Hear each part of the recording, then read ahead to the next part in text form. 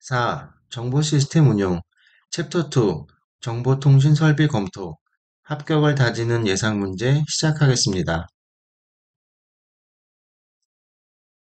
첫 번째 문제입니다. 통합관제 시스템의 영상 분배 서버에 대한 설명으로 옳은 것은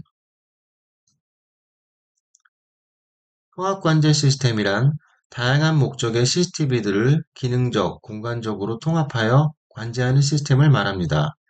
통합관제 시스템은 각기 다른 용도의 CCTV들을 하나의 시스템에 연계함으로써 교통감시, 치안유지, 산불 감시와 같은 관제 요인들을 한 곳에서 모니터링할 수 있고 운영인력 감소, 상황 대처 능력 향상, 관리 비용 절감과 같은 효과가 있습니다.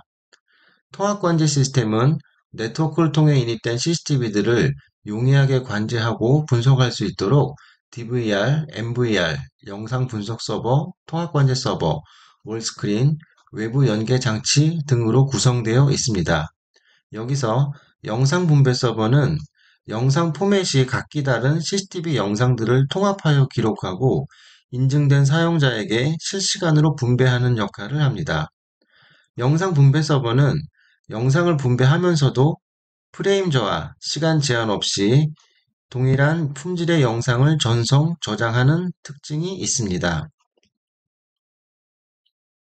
따라서 통합관제 시스템의 영상 분배 서버에 대한 설명으로 옳은 것은 여기에 대한 정답은 1번 영상 포맷이 각기 다른 CCTV 영상들을 통합하여 기록하고 인증된 사용자에게 실시간으로 분배하는 역할을 한다 입니다.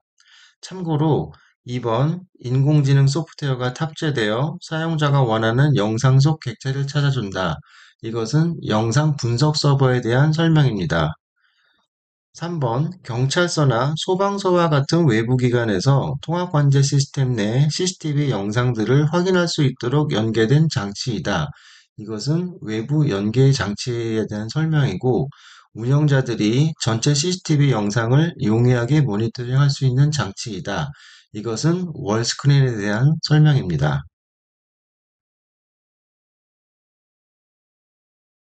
두 번째 문제입니다. 다음 중 시스템 통합에 대한 설명으로 틀린 것은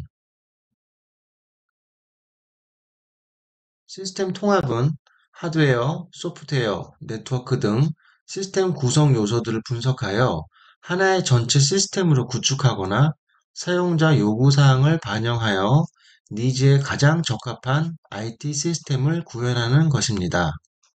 시스템 통합은 기존 시스템과 새로 개발된 시스템을 통합, 통합시키는 작업이므로 서로 다른 제품의 하드웨어와 소프트웨어가 함께 원활히 동작되는 것이 목적이며 주요 업무로는 시스템 진단, 컨설팅, 구축, 기술 지원, 성능 분석 등이 있습니다. 여기서 시스템 컨설팅은 시스템 진단 및 구성 컨설팅, 시스템 재배치, 백업이나 이중화에 관한 내용, 시스템 솔루션 소개들이 해당됩니다. 시스템 유지 보수는 하드웨어 유지 보수, 운영 사항에 대한 기록이나 장애 관리, 시스템 성능 분석 등이 해당됩니다. 시스템 구축은 하드웨어 구축, 소프트웨어 공급 및 설치, 전산실 구축 및 설계, 인력 지원이나 기술 지원에 관한 내용들이 포함되어 있습니다.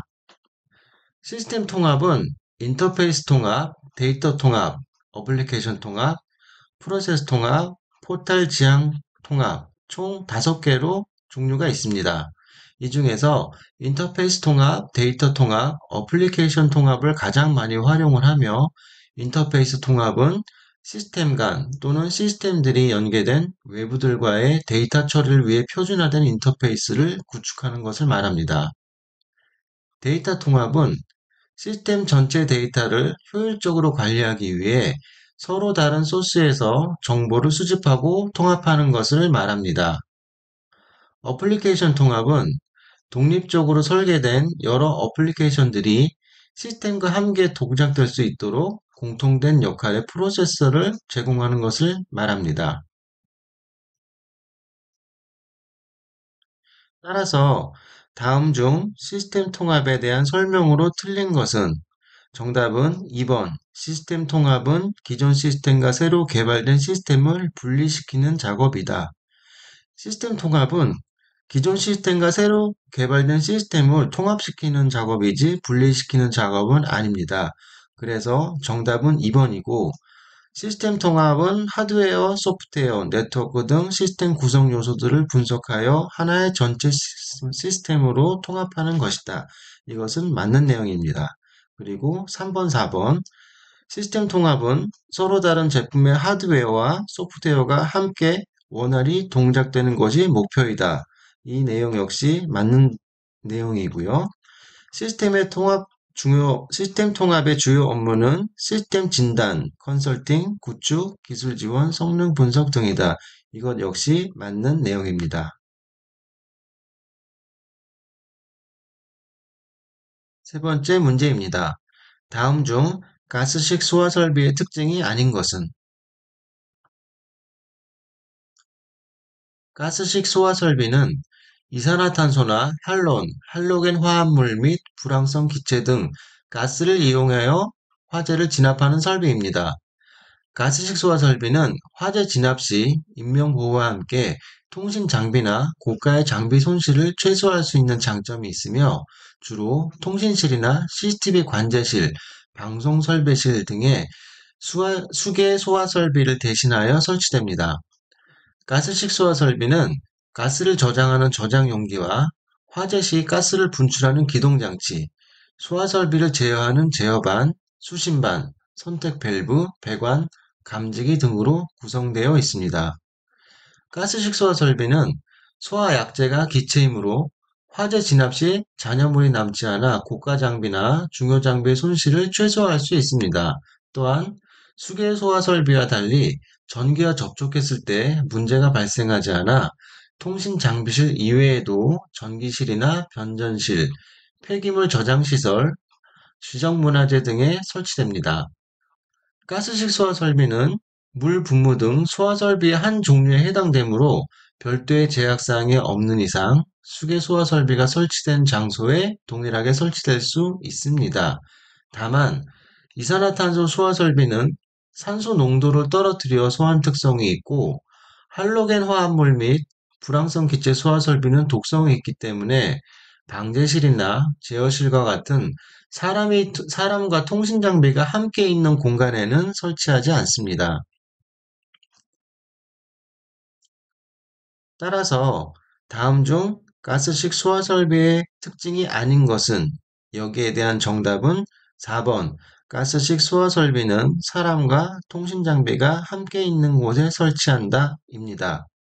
소화 설비는 사람과 통신 장비가 함께 있는 곳에 설치하면 안 되는 것이죠. 참고로 1번, 2번, 3번 소화약재가 기체이므로 화재 진압 시 잔여물이 남지 않아 중요 장비의 손실을 최소화할 수 있다. 가스식 소화 설비는 전기와 접촉했을 때 문제가 발생하지 않는다. 가스식 소화 설비는 별도의 제약사항이 없는 이상 수계 소화 설비가 설치되는 장소에 동일하게 설치될 수 있다. 이것은 모두 맞는 특성입니다. 네 번째 문제입니다. 다음 중 비상방송 시스템 출력부에 대한 설명으로 옳은 것은 비상방송 시스템은 관공서, 기업, 대형 빌딩, 학교 등 단일 건물이나 인접 건물에서 원하는 구역의 전체 또는 층별, 구역별로 방송을 송출하는 시스템입니다. 비상방송 시스템은 건물 내 안내방송, 공지사항 전달과 같은 자체 방송 서비스를 제공하는 데 사용되며 화재나 자연재해 같은 상황에서 인명과 재산 손실을 최소화하는 역할을 합니다. 비상방송 시스템은 중앙방송실에 송신 장치를 설치하고 각 사무실이나 호실, 복도 등의 스피커를 포함한 수신 장치를 설치하여 중앙 방송실에서 각 사무실로 방송을 전달하는 구조로 되어 있습니다. 비상 방송 시스템은 마이크로폰을 제외한 입력부, 제어부, 중폭부가 랙 형태의 단일 시스템으로 구성되어 있으며 출력부는 비상방송 송출을 위해 건물 내 주로 설치됩니다. 여기서 입력부는 음성, 음원 등 진동에 의한 음성 신호를 전기 신호로 바꾸는 역할을 합니다. 제어부는 음량의 밸런스와 음질, PC 연동 등 전반적인 신호 처리와 조절을 담당합니다. 증폭부는 미세한 전기 신호를 증폭하여 음량을 조정하는 장치를 말합니다. 출력부는 전기 신호를 사람이 들을 수 있는 음성 신호로 바꾸는 역할을 합니다. 참고로 비상방송 시스템의 설치 대상은 정보통신공사업법과 소방법의 적용을 받습니다. 또한 구내방송, 안내방송, 연회장, 학교, 세미나 등에 적합하도록 설치되어야 하고 공동주택이나 주상복합, 주상복합 건물, 빌딩형 아파트 등 구내 전송 설비를 갖춘 건축물에 설치되어야 합니다. 따라서 다음 중 비상방송 시스템 출력부에 대한 설명으로 옳은 것은 정답은 4번 전기 신호를 사람이 들을 수 있는 음성 신호로 바꾸는 역할을 한다 입니다. 1번은 음성, 음원 등 진동에 의한 음성 신호를 전기 신호로 바꾸는 역할을 한다. 이것은 입력부에 대한 설명이죠. 그리고 음량의 밸런스와 음질, PC 연동 등 전반적인 신호 처리와 조절을 담당한다. 이것은 제어부에 대한 설명입니다. 미세한 전기 신호를 증폭하여 음량을 조절하는 장치이다. 이것은 증폭부에 대한 설명입니다.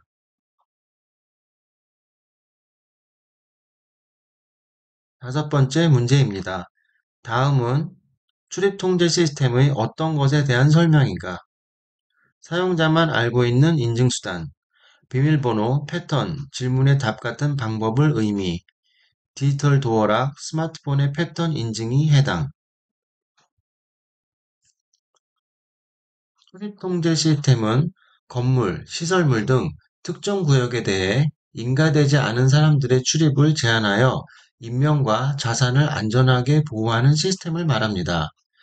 출입 통제 시스템은 내부 자산 보호가 목적이지만 기업 내 업무 특성과 용도에 따른 제한 개방을 사용자가 원하는 방법으로 조절하여 유연한 사무 환경을 조성하기도 하고 RFID 카드, 생체 인식을 이용한 소속 인원과 외부 인원을 구별하기도 합니다.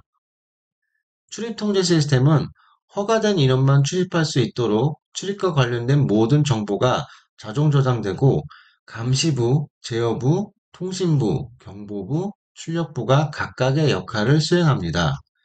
출입 통제 시스템에는 출입 인증 수단이라는 것이 있는데 이 출입 인증 수단이란 출입 인가를 위한 자격이나 권한이 있는지 확인하는 요소를 말합니다. 인증 수단의 종류로는 지식 기반 인증 수단, 소유 기반 인증 수단, 고유 속성 인증 수단이 있습니다. 여기서 지식 기반 인증 수단은 사용자만 알고 있는 지식 기반의 인증 수단을 말합니다. 비밀번호, 패턴, 질문의 답과 같은 방법을 의미하며 디지털 도어락, 스마트폰의 패턴 인증 등이 해당됩니다.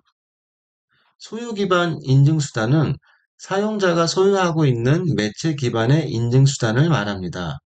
열쇠나 RFID 카드, IC카드, 마그네틱 카드 같은 것들이 해당되며 고유 속성 인증 수단은 사용자만의 고유 속성인 신체적, 행동적 특징을 이용한 인증 수단을 말합니다. 고유 속성 인증 수단에는 사람들이 가지고 있는 지문, 홍채, 정맥, 얼굴 등이 해당됩니다. 따라서 다음은 출입 통제 시스템의 어떤 것에 대한 설명인가? 사용자만 알고 있는 인증수단, 비밀번호, 패턴, 질문의 답 같은 방법을 의미, 디지털 도어락, 스마트폰의 패턴 인증에 해당. 정답은 1번 지식 기반 인증 수단입니다. 참고로 2번 소유 기반 인증 수단은 비밀번호나 패턴과 같은 지식 기반이 아니고 사용자가 소유하고 있는 매체 기반의 인증 수단을 말하는 것입니다. 고유 속성 인증 수단은 사용자만이 가지고 있는 고유적인 수단, 즉 지문이나 홍채, 정맥, 얼굴 등이 해당되는 것입니다. 여섯 번째 문제입니다. 다음은 무엇에 대한 설명인가? 인터넷을 통해 단말들의 시간을 동기화시키는 프로토콜, 모든 장비들의 시간을 똑같이 만들어주는 프로토콜, 최소 0.001초 단위까지 동기화가 가능. 이번 문제는 NTP에 관한 문제입니다.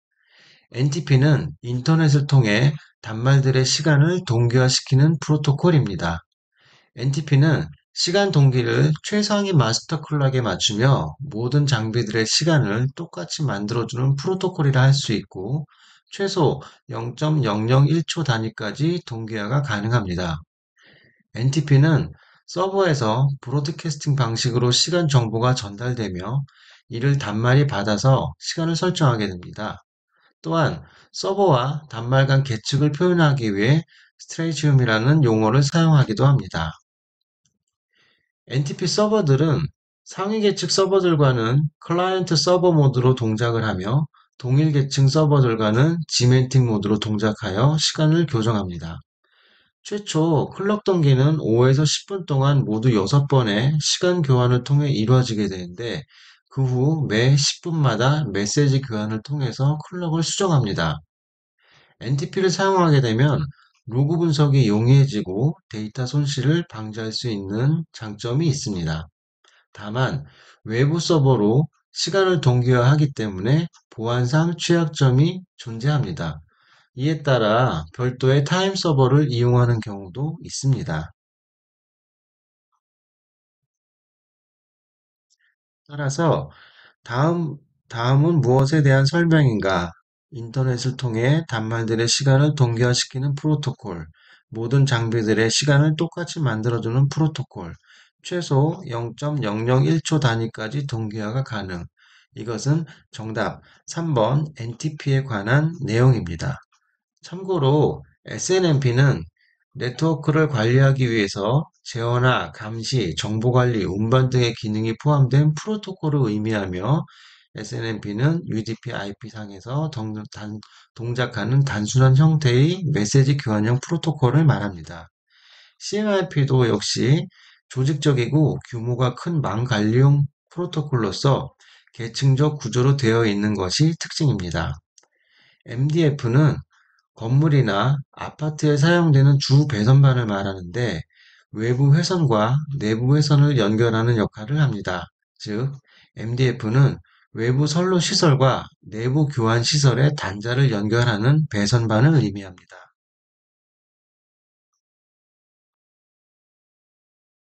일곱 번째 문제입니다. 통합 배선의 수평 배선에 대한 설명 중 틀린 것은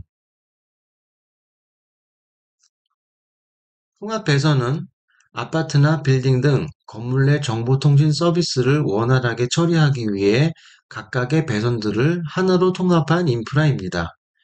통합 배선은 정보통신 신호체계가 디지털 방식으로 변화하면서 나타나게 되었고, 구내 통신 케이블의 용이한 확장과 유지관리, 다양한 데이터 수용 등의 장점이 있습니다. 통합 배선 시스템은 건축물 내 배선들을 하나로 묶어주고 관리할 수 있는 그런 시스템을 말하는데 주로 간선 배선, 수평 배선, 세대 단자함, 인출구와 같이 4개의 구조화된 서브 시스템으로 구성되어 있습니다. 여기서 간선 배선이란 건축물 내 주 분배함에서 세대 단자함까지의 배선을 말합니다. 각 세대별 최소한 2페어 이상의 케이블이 구축되어야 하고 구축 배선은 최소 16MHz의 전송폭을 가져야 합니다. 수평 배선은 세대 단자함에서 각 실별로 설치된 1회선 이상의 단독 배선을 말합니다. 4 pair 이상 UTP 케이블로 배선하고 최소 1회선 이상의 이상을 포설해야 합니다. 또한 세대 단자함으로부터 성형 배선으로 구축을 하되 음성급을 제외하고는 브리스트를 만드는 배선은 허용되지 않습니다. 세대 단자함은 세대 내 인입되는 통신선로, 즉 홈네트워크 설비 등의 배선을 효율적으로 분배 및 접속하기 위한 분배함을 말합니다. 세대 단자하면 5개의 분계점이 있거나 공동 다세대 주택일 경우 이용자 세대별로 전용 세대 분전압을 설치할 수 있고 세대 단장 위치는 접근이 용이하고 배선 길이를 최소화할 수 있어야 합니다. 따라서 통합 배선의 수평 배선에 대한 설명 중 틀린 것은 정답 1번 건축물 내 주 분배함에서 각 세대 단자함까지 배선이다. 해당 내용은 간선 배선에 관한 설명입니다. 참고로 2번 세대 단자함에서 각 실별로 설치된 1회선 이상의 단독 배선이다. 4페어 이상 UTP 케이블로 배선한다. 최소 1회선 이상 포설한다. 이 내용은 모두 수평 배선에 관한 내용입니다. 여덟 번째 문제입니다. 통신설비 접지 방식의 종류가 아닌 것은 접지란 전기 회로나 장비, 외함의 일부를 전기적으로 대지에 접속하여 낙뢰 또는 정전기 등으로부터 장치를 보호하는 조치입니다. 통신설비 접지는 원하지 않는 전류나 전압의 유입, 전기적 잡음으로부터 통신 서비스를 보호하는 일종의 기능용 보호 조치이며 사용 분야나 목적에 따라서 보안용 접지와 기능용 접지로 구분할 수 있습니다. 통신설비 접지의 목적으로는 전기적 충격으로부터 인명을 보호하고 전기적 피해로부터 시설물을 보호하는 데 있습니다. 또한 정전기나 잡음을 제거하여 통신 장비의 원활한 기능을 확보하거나 낙뢰와 같은 강한 충격으로부터 기기의 저렴 파괴를 방지하는 데 있습니다. 접지 방식의 종류로는 독립접지와 공통접지, 통합접지가 있는데 이 중에서 독립접지는 모든 통신 시스템이나 전기 장비 등에 대해 개별적으로 접지를 구성하는 방식을 말합니다. 개별 접지 또는 단독 접지라고도 하고 접지의 성능 악화나 손상이 발생하더라도 다른 장비에 영향을 주지 않기 때문에 전반적인 시스템 안정성이 높습니다. 다만 접지 공사 비용이 비싸고 각각의 접지 간 충분한 이격거리를 확보하지 않으면 상대적으로 시공이 용이하지 않을 수 있다는 단점이 있습니다. 공통 접지는 전력 계통을 하나로 묶어 접지하고 통신, 피뢰침을 따로 접지하는 방식을 말합니다. 공통 접지는 통신 장비가 전력 계통과 분리되어 과전압으로부터 손상을 줄일 수 있으며 비교적 단순한 구조를 가져 시공이 용이합니다. 다만 계통전압의 이상 발생 시 노이즈 발생 가능성이 존재합니다. 통합접지는 통신 시스템, 전기 장비, 피뢰침과 같은 여러 설비를 하나의 공통된 전극으로 구성하는 방식입니다. 통합접지는 건축물 부지 내 하나의 접지선 또는 철골 구조물을 이용하여 각 시스템의 접지 전극을 연결하는 방법을 주로 사용합니다. 접지에 필요한 모든 설비를 용이하게 접지할 수 있고 비용을 절감할 수 있는 그런 장점이 있습니다만 모든 설비가 공통으로 연결되어 있기 때문에 특정 접지 전극의 성능 열화나 손상이 발생할 경우 전체 장비에 영향을 줄 수 있다는 단점도 있습니다. 따라서 통신 설비 접지 방식의 종류가 아닌 것은 정답은 1번 보안 접지입니다. 접지 방식의 종류로는 독립접지, 공동접지, 통합접지가 있는 것이고 접지 목적에 따른 분류로 보안용 접지와 기능용 접지로 분류가 됩니다. 참고로 보안용 접지는 인명 피해나 누전에 의한 감전, 기기의 손상, 화재, 폭발 등 전기 설비의 안전을 목적으로 하는 접지를 말합니다. 기능용 접지는 전기, 전자, 통신설비 기기의 안정적인 동작과 운용을 목적으로 하는 접지를 말합니다. 아홉 번째 문제입니다.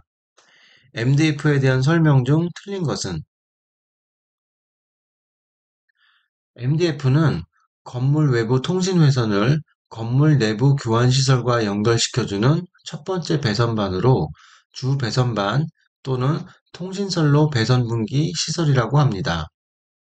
MDF는 사용되는 회선 수가 총 300회선 이상인 공동주택 등에서 사업자 설비와 이용자 설비를 상호 접속하고 원활한 회선의 절체 접속과 유지 보수를 위해 설치되는 장치이며 5개 회선 이님이 원활한 장소에 주로 설치됩니다.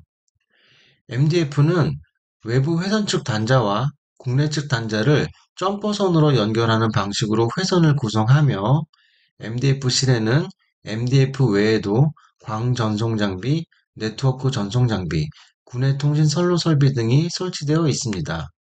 또한 장비 보호를 위해 피레기, 보호 장치 등도 설치되어 있습니다.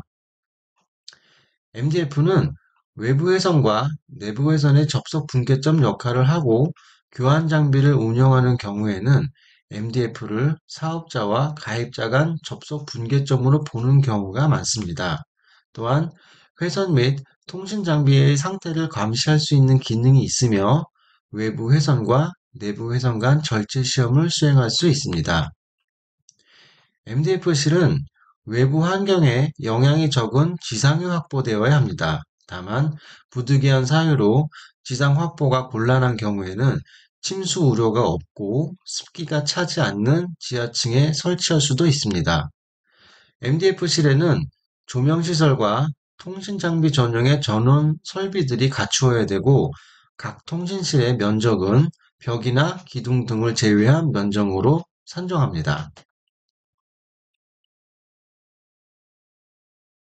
따라서 MDF에 대한 설명 중 틀린 것은 정답은 3번 아파트 공용 복도나 사무실 인근 등 가입자가 위치한 주변에 주로 설치된다 입니다.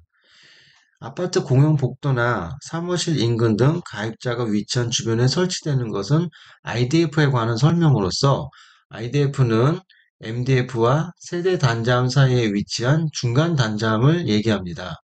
IDF는 이와 같이 아파트 공용 복도에 주로 설치되며 최종 가입자에게 통신선로를 분기하는 역할을 합니다.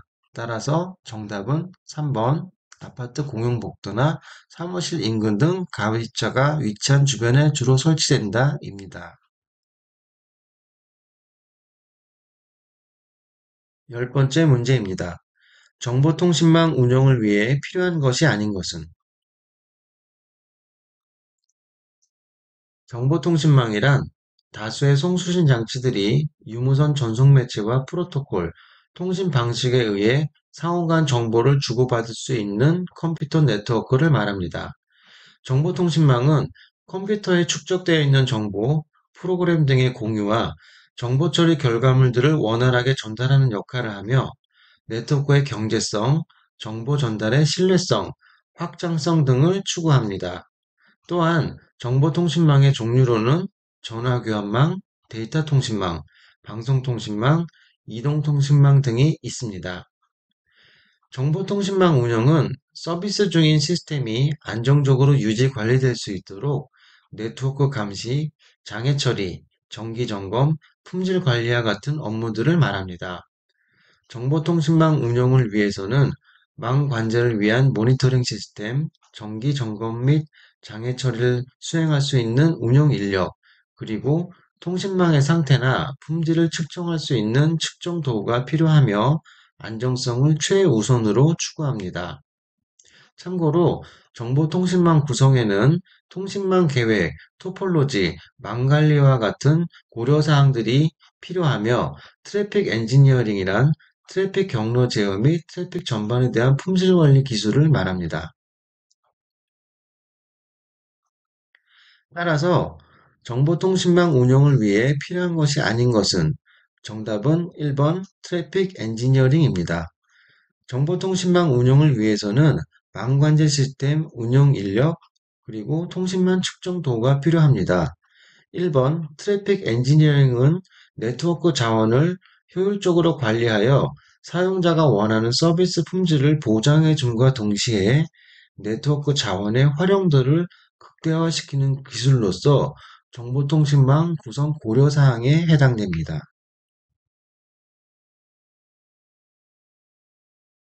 열한 번째 문제입니다.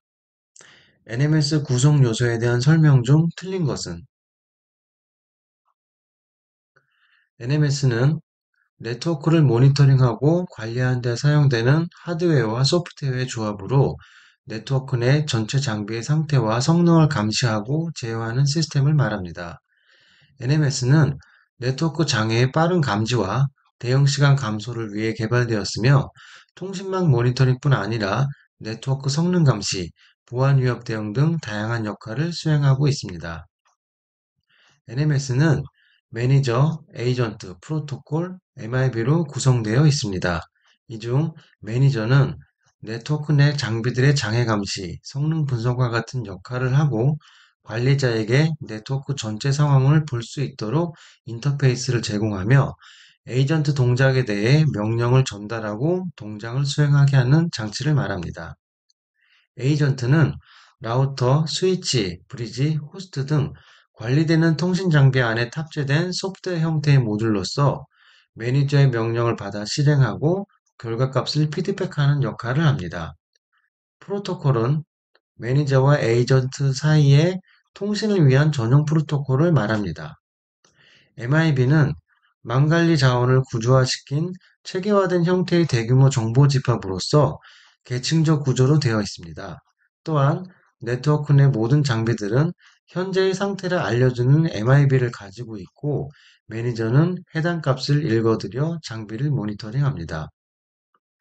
NMS는 다섯 가지 기능이 있습니다. 첫 번째로 장애 관리, 네트워크 장애를 감지하거나 비상, 비정상적인 동작이 감지되었을 때 신속하게 대처할 수 있도록 정보를 제공하는 기능을 합니다. 두 번째로는 네트워크 장비 및 링크의 연결 상태, 설정, 역할 등 전반적인 네트워크 구성 요소와 형상을 관리하는 구성 관리가 있습니다. 세 번째로는 네트워크 장비와 링크 상태를 모니터링하여 성능 저하가 발생하였을 때 즉시 대처할 수 있는 성능 관리 기능이 있습니다. 네 번째로는 사용자의 권한, 자원 사용 현황, 계정 정보 등을 수집, 저장, 제어하는 계정 관리 기능이 있습니다. 다섯 번째로는 네트워크 보안 정책을 수립하고 이벤트를 모니터링하여 보안 위협을 대처할 수 있는 보안 관리 기능이 있습니다. 따라서 NMS 구성 요소에 대한 설명 중 틀린 것은 정답은 4번 MIB 네트워크 전체 상황을 볼 수 있도록 인터페이스를 제공한다 입니다. MIB는 망관리 자원을 구조화시킨 체계된 형태의 대규모 정보 집합이라고 했습니다. 따라서 인터페이스를 제공하는 역할은 어, 설명 중 틀린 것에 해당됩니다.